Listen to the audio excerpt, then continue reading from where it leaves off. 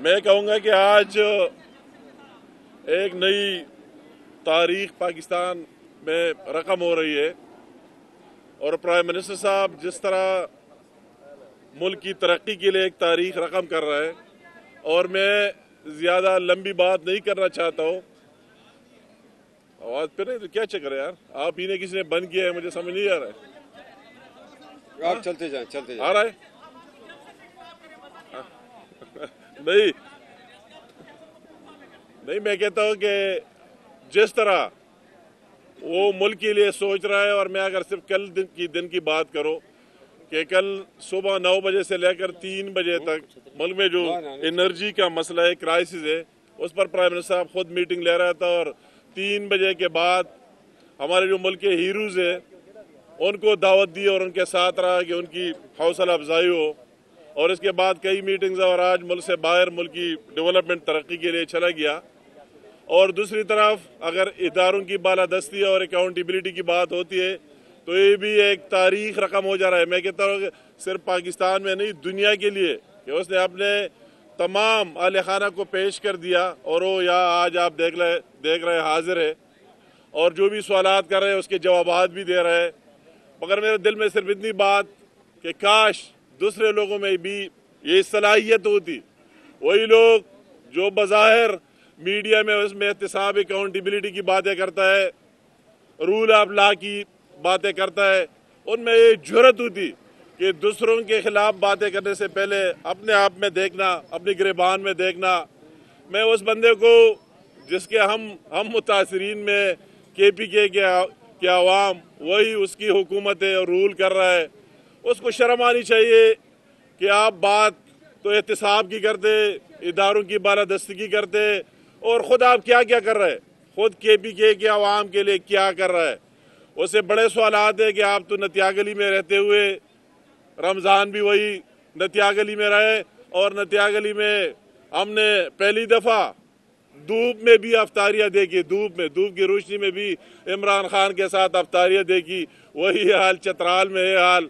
मगर उसको ये फ़िक्र ही नहीं है। बात करते अकाउंटेबिलिटी की। तो मैं कहता हूँ, बहुत अच्छी बात है। इमरान साहब अकाउंटेबिलिटी की बात करते तो पहले तो अपने आप से स्टार्ट ले लो। आपके उस एहतसाब कमीशन का क्या बना? आपने तो उसको ताला लगा दिया लाक कर दिया। और इसके डीजी को फारे कर दिया। तो आपको अगर आपके उस डीजी ने आपके खिलाफ जितनी बड़ी चार्जशीट जनरल हामिद ने पेश की, और आपके और आपके वज़ीर अला के सारे कारनामे बता दिए।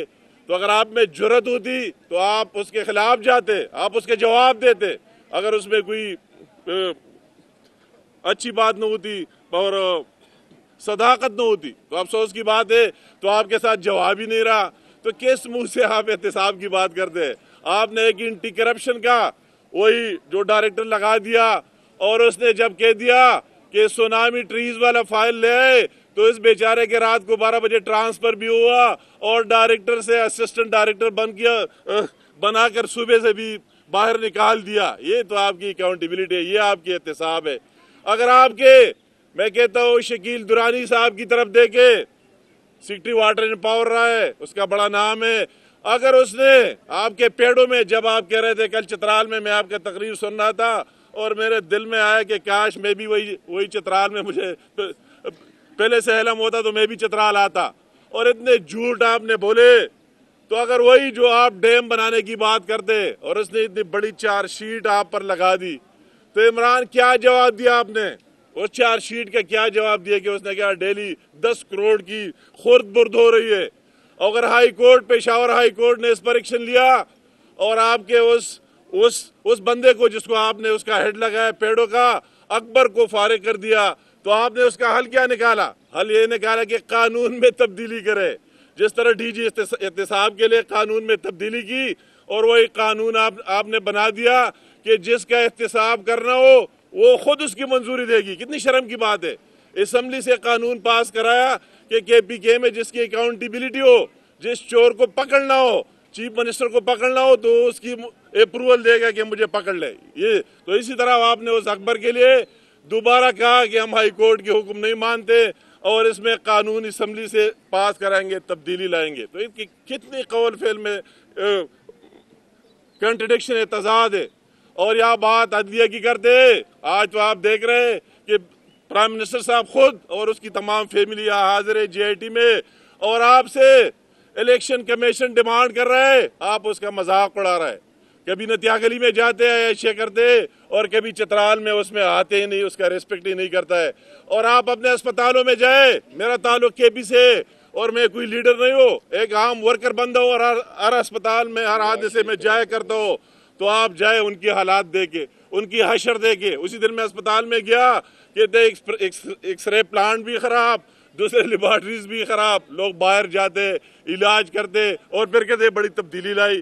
किस चीज़ की तब्दीली लाई? आपने अपने रोडों को देखो, सड़कों को देखो, तालीम को देखो, और वही तीन सौ साठ डेमों का दावा करने वाले कल बार बार अपने लोगों से वही पूछ रहा था कि कितने बना दिए? कभी वो कहते हैं कि बीस माइक्रो हाइड्रल बनाए। मुझे बताओ इमरान, कि आपने चार साल में केपीके में, दूसरों पर तनकीद करने से पहले बताओ कि चार सालों में आपने कितनी मेगावाट बिजली बनाई?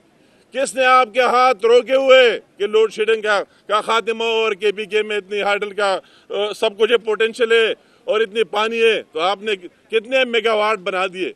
आपको शर्म आनी चाहिए कि खुद खुद अगर आप जो बात करते दूसरों के लिए तो फिर अपने आप में देखो कि आप में कितनी इसकी सलाहियत है, कितने इसको बर्दाश्त कर सकते और क्या सूरत हाल है। तो मुझे ज़रूर ये डबल स्टैंडर्ड लोगों के, मैं कहता हूँ कि अच्छी बात है। ये रिवायत जो नवाज़ शरीफ साहब ने डाली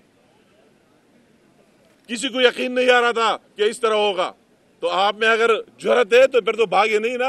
इलेक्शन कमीशन से तो न भागे ना, अपने इदारों की। अगर मैं वही खैबर बैंक की बात करो, कितनी अफसोस की बात है और मीडिया से भी मुझे बहुत शिकवा गिल्ला है कि आप आप आए, अल्लाह के लिए, खुदा के लिए वही देखो।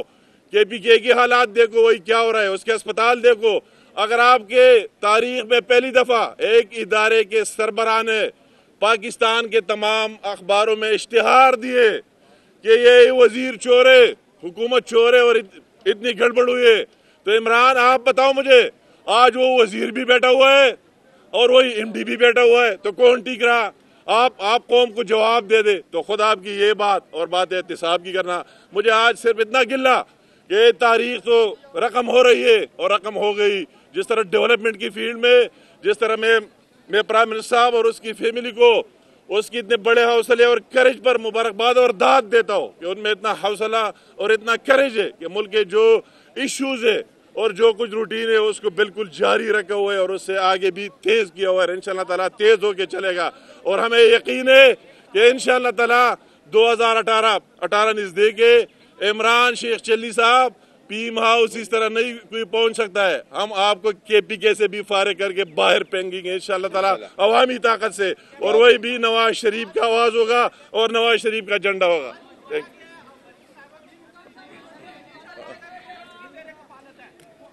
ये ये तो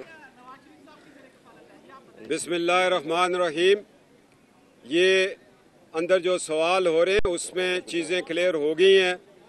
और मेरा ख्याल है कि वो जेर कफालत, पूरा पाकिस्तान ही अपने लीडर की जेर कफालत होता है। और आज ये एजाज़ हासिल है हमारे लीडर को कि वो पाकिस्तान के बेहतर मुस्तकबिल के लिए लैंड किया है। और उस घर की बेटी जिसके दादा का भी एहतसाब हुआ, जिसके वालद का एहतसाब हो रहा है, आज से नहीं, गुलाम असाक से लेकर 12 अक्टूबर से आज तक, और उसकी बेटी आज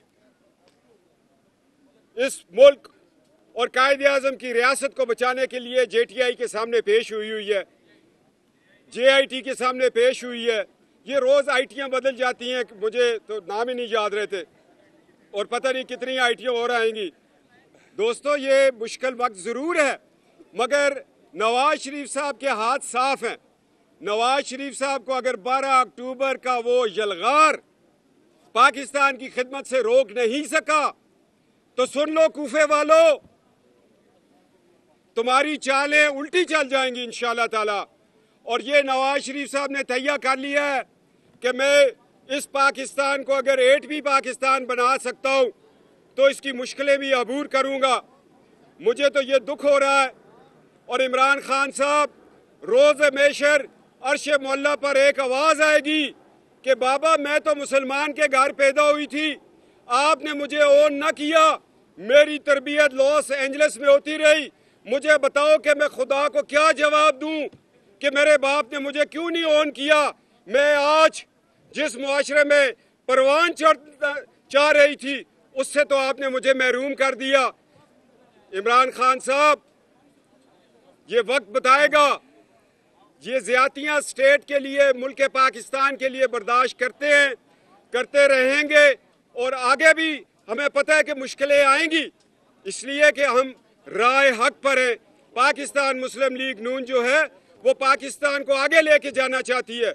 और इन ताला वो वक्त दूर नहीं है।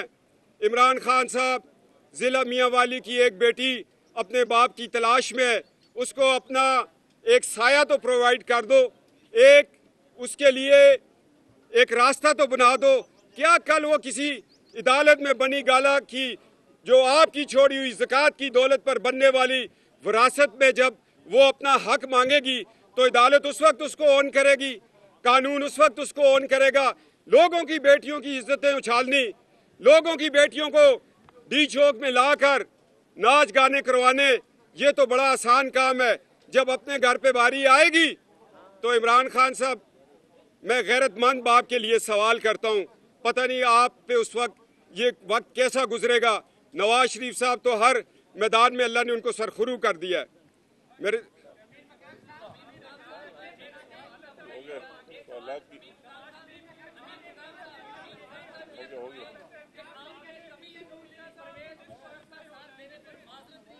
मैं मुझे ये पता है मैतला साहब आज से चार पाँच महीने पहले आप ही नवाज़ शरीफ साहब की जेर कफालत के लिए दरख्वास्त लेके मेरे पास आए थे एक जो टॉपिक है उसकी जान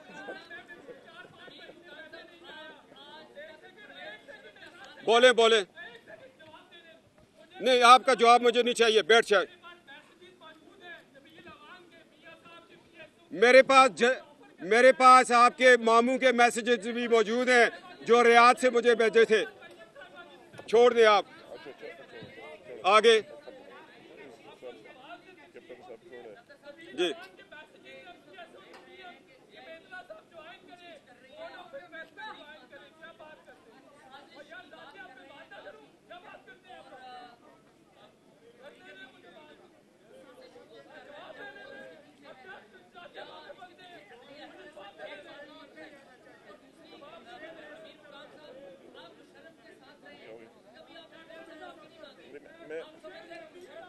मैं मैं मैं मैं मैं यार यार यार इस बात पर पॉइंट आ जाए मैं अपनी एक बात करता हूँ। मैं जिसके साथ रहा इंतहाई दलीरी से रहा इंतहाई ईमानदारी से रहा आज मियाँ मोहम्मद नवाज़ शरीफ के साथ खड़ा हो और बिल्कुल दलीरी से करो मेरा जान माल उसके लिए हाजिर है और डट कर हाजिर है। इस, इस तरह कोई बात नहीं जिसके साथ वो डट कर होता हो।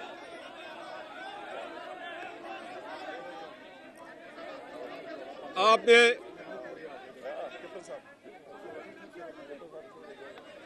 आपने ये सवाल किया कि आपने एक सवाल किया कि जेर कफालत अल्लाह के फजलो करम से हमारा छोटा सा घर हमारे ओन पर चल रहा है और ये अदालत को और इस, ये जो छोटा सा कमीशन बना हुआ है, आज तक ये इस बहम में पिछले कोई एक महीने से ये जो पेशकियाँ हो रही हैं ये अपने तौर पे साबित ही नहीं कर सके। हम अदालत और वक्त पे साबित करेंगे कि कौन किस पे इनसार कर रहा है।